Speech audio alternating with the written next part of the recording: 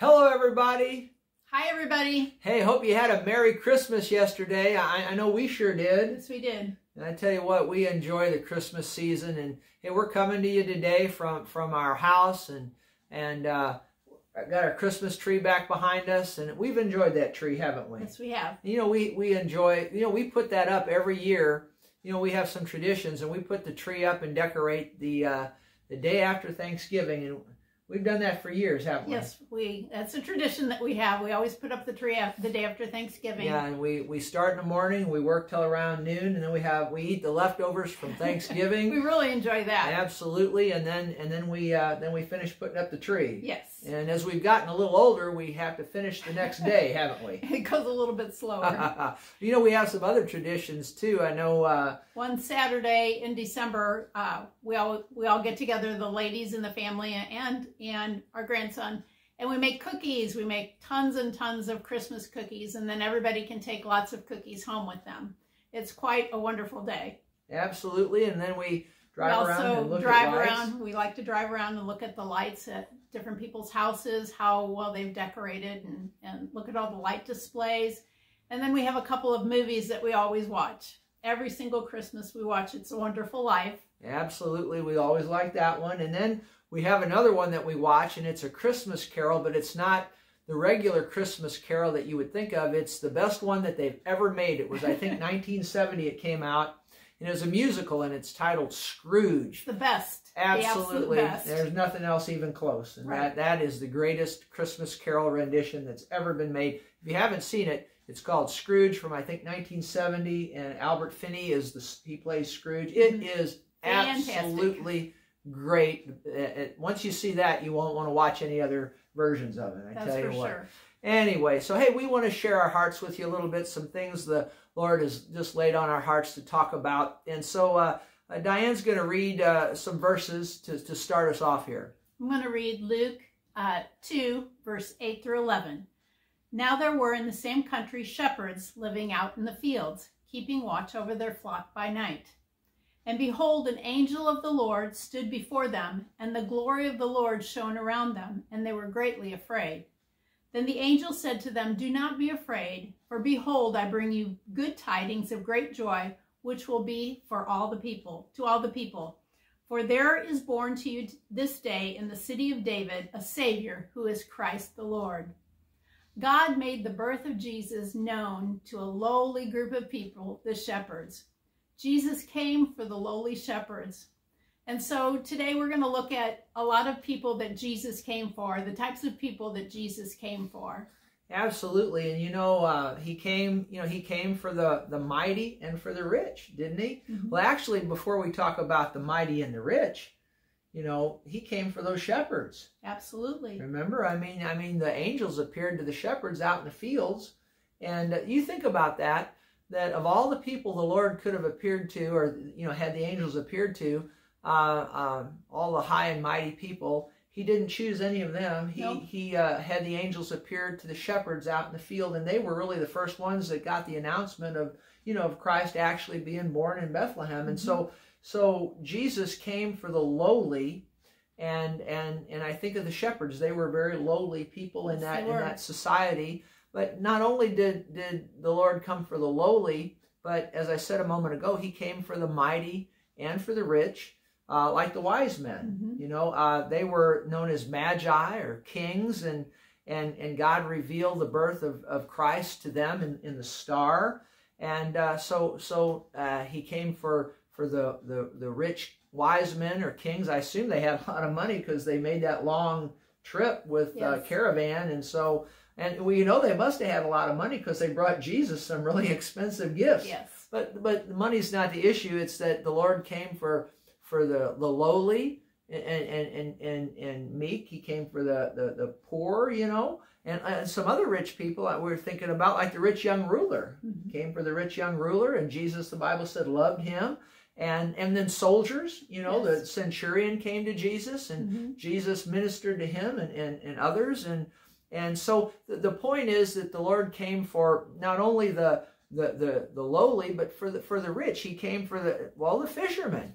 you know, the uh, the Lord's disciples were fishermen, and and he had uh, lowly, humble people on his staff. Yes. You know, and and uh, and, and he he came he came for the educated. You know, I Mhm. think of Saul of Tarsus that God you know used. He became the apostle Paul, and and the Lord came for him, and and of course for the uneducated. You know, and and his disciples were. Uh, considered to be you know you know uneducated men they were educated in fishing but uneducated you know as the world would look at it and so uh, so the first group of people that the lord that we want to let you know the lord came for is he came for the the, the lowly and the meek but he also came to minister to the rich and the Mhm. mighty Yes. absolutely One scripture that really stands out to us when we think about who Jesus came for is Luke 4:18. And Jesus is talking and he said, "The spirit of the Lord is upon me, because he has anointed me to preach the gospel to the poor.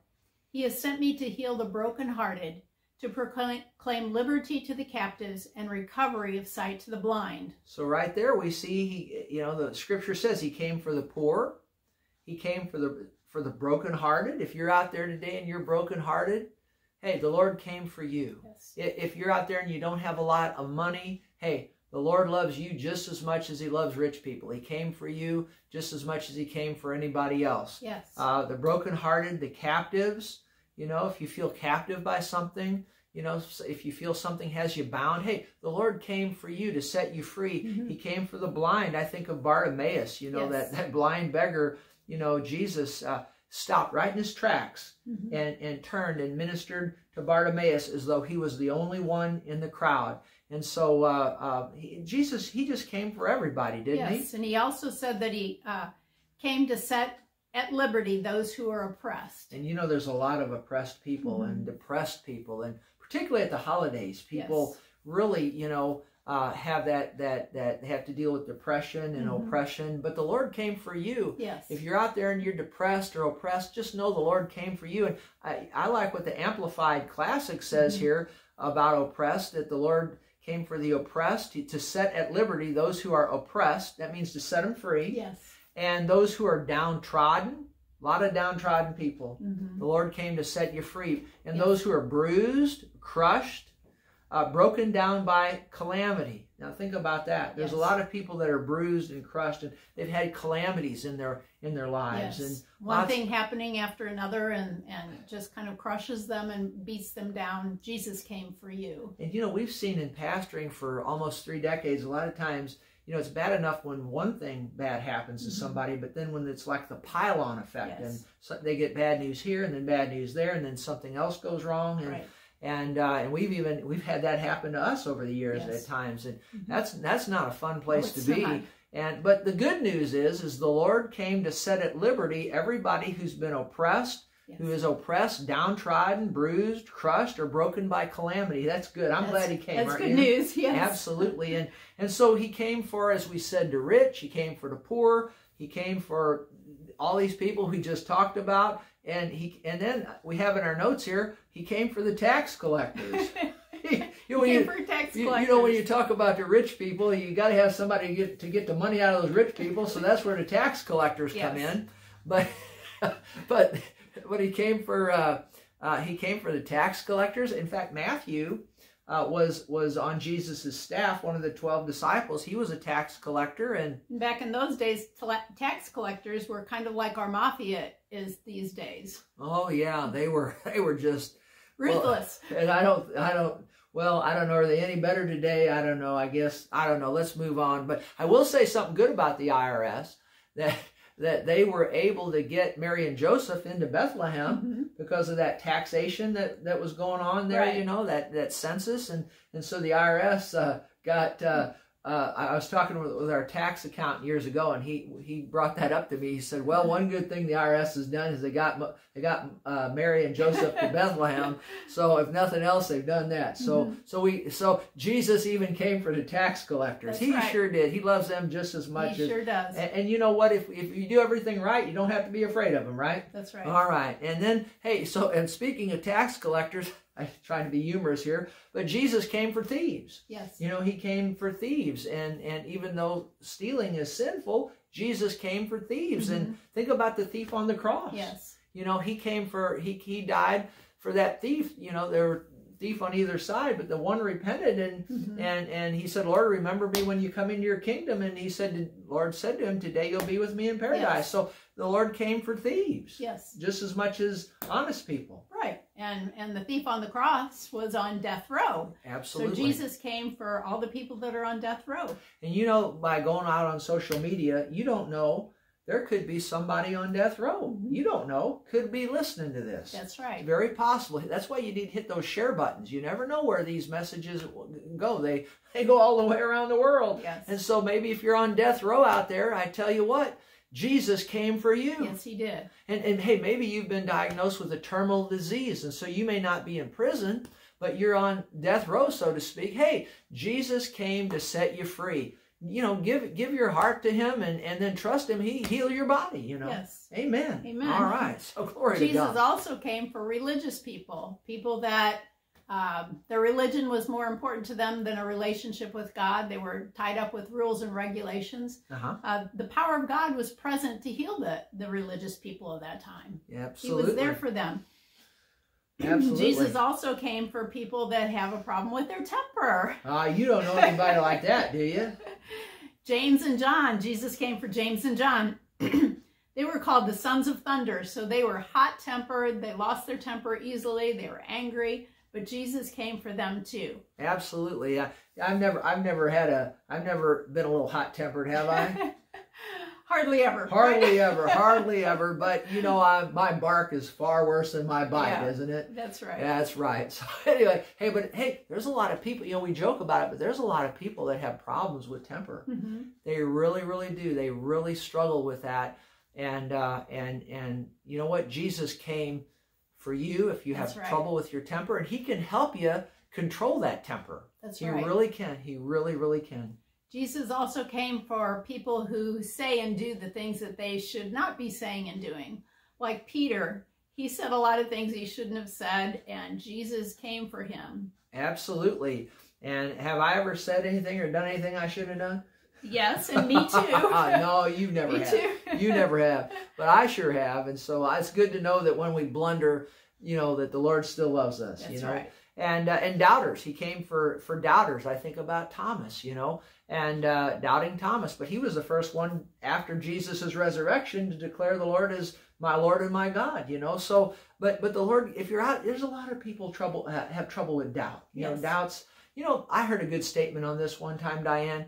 It really helped me that you can have uh, doubt in your head, but faith in your heart That's right. and that really helped me because Mhm. sometimes you know you get you get doubts running through your head and and you think you feel badly about yourself Right. but you know you can have doubt in your head but faith in your heart That's And right. if you'll but if you'll center in on that faith that faith will overtake your thoughts and then you'll get faith in your head too That's right. but the good news is if, if you're out there today and you're you're listening to this and you have trouble with doubts you're doubting whatever you might be doubting i want to tell you this the lord came for you That's he right. really really did and and he came for doubters he came for betrayers you know Mhm. remember when judas betrayed jesus? Yes. and what did jesus call him? He called him friend, friend. called him friend. And so uh, you know if you've been betrayed if you've been betrayed jesus came for you but maybe you've betrayed somebody else. Mhm. hey repent and apologize and go make it right. But just know this that the lord came for you too. He came for he came for hot tempered people. He came for people who said and did things they shouldn't have done. He came for doubters he came for betrayers Yes, he also came for the sick and the demon possessed.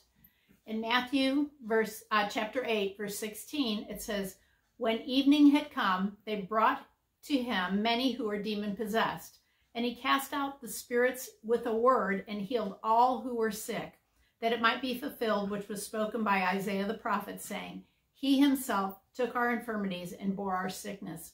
So Jesus came if you're sick or demon possessed or demon oppressed Jesus came for you. He came for you to help you.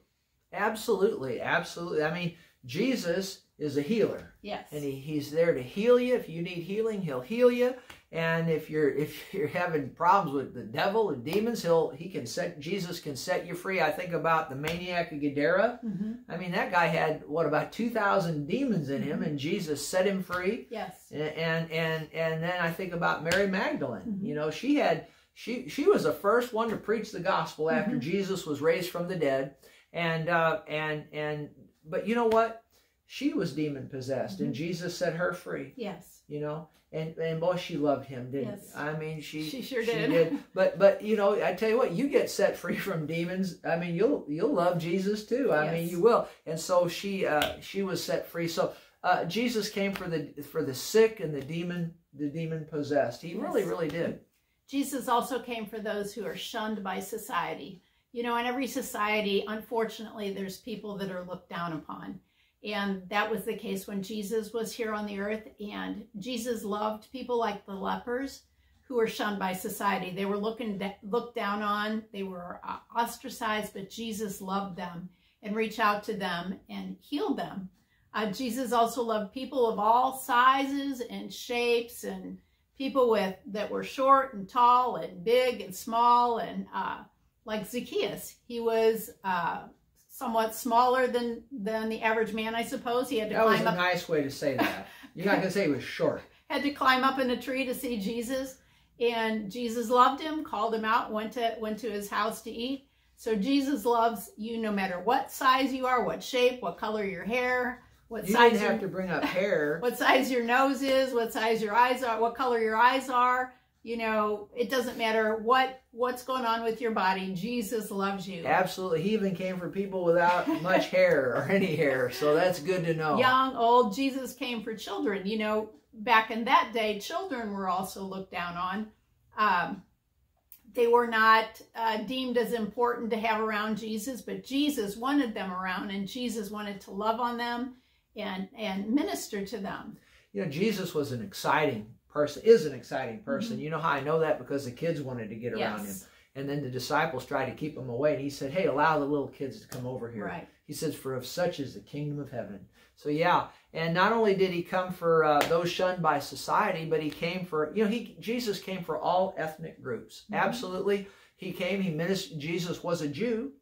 He ministered to the Jews, Yes, but he also, he ministered to the Gentiles and he Mhm. ministered, you know, well, the Samaritans. And, right. and and he just, he ministered to everybody. With- The Bible says that he is no respecter of persons, Right. and so he ministers to everyone equally. He loves everybody equally. Yes, he he does. absolutely does. Jesus also loves the people that are sexually immoral. In the New Testament, it talks about um, a woman taken in adultery, and the religious people brought her to Jesus and wanted Jesus to condemn her. And Jesus wouldn't do it. He just told her, Go and sin no more. And he had love and compassion toward her. Also, um, another example is the woman at the well that Jesus talked to. She had been divorced five times and was living with a man that she wasn't married to. And Jesus didn't condemn her, but he loved her. And so, if you're sexually immoral, if you have problems in that area, if you're watching pornography or doing something that you know is wrong sexually, Jesus loves you and he extends forgiveness to you. Yeah, now he wants you to repent. I mean, you can't go on in that lifestyle. I mean, you need to repent, and uh, you need to do that. But the point we're trying to make here today is he came for you. He came for you. and he. Mm-hmm. loves you so you know and there's a lot of people that that are uh, have, have you know have been divorced and they think less of themselves Yes. and of course divorce is a is a bad thing and and god's not in favor of it but you know if someone's been divorced and you know they've gone on with their lives you know the lord forgives Right. and this lady that you mentioned uh, this woman she was divorced five times and this was the woman at the well Right. and uh, she'd been divorced five times and then was married uh, was living with a man she wasn't married to you know jesus never condoned that sin it's No. like the woman taken in adultery he didn't condone the sin Right. he told her to go and sin no more but he didn't condemn that woman taken in adultery. Right. he didn't condemn the, the lady that had been divorced. So if you're out there and and you know you're feeling bad about yourself hey jesus came for you and hey if you've been divorced i tell you what don't i mean it's it's not a good thing but hey jesus came for you and and and, and he loves you. You know i just uh, impressed with the spirit of god to say this I, we didn't have this in our notes. But maybe you're out there today and, and you've had an abortion and you're feeling bad about yourself i tell you what the lord wants to minister to you right now he wants me to tell you that your baby now what you did you shouldn't have done that okay but your baby's with the lord and he loves you and he came for you okay and there's hope Okay, and there's there's life for you beyond that. Now, now we didn't have that in our notes. I hope it was okay that I shared that, but I believe that's what the Lord wanted to yes. say to somebody that's going to be listening to yes. this. Absolutely, He came for you and He loves you. That's right. Amen. And uh, who's next? Warriors. Oh, it's my turn. We've got these color coded, so I gotta gotta be sure it's it. She does the black lettering, I do the blue. So in case you're wondering, blues so, for is boys. it my turn now? Blues for boys. But warriors, he came for warriors. I wonder if there's any warriors out there. You've never known me to worry, have you? I'm trying to get her to say something bad about me, but she won't do it. But you know, worrying, yeah, there's a lot of people that are bound by worry and anxiety, and the Bible says, you know, we're not supposed to be anxious for anything. And but, you know, that that's easier said than done. Now it's doable, but I tell you what, uh, I came come from a long line of warriors. My grandma was a world champion and my mother doubled down on that and it got into me and and so uh, and, and, you know worrying is like what did somebody say? Worrying is like paying interest on a loan you may never have to borrow. Yeah, that's right. And i tell you what people can get bound by worry mm-hmm. but uh, uh, but but you know jesus came for worriers and you know worrying never has done me any good. Nope. Absolutely and and most of the stuff i've worried about never happened anyway. That's right. So hey uh, Jesus came for warriors and and he came to set us free. Praise That's God. Right. So let's trust him and stop worrying. But he that came for good. he came for us. He and then I think about that woman with the issue of blood.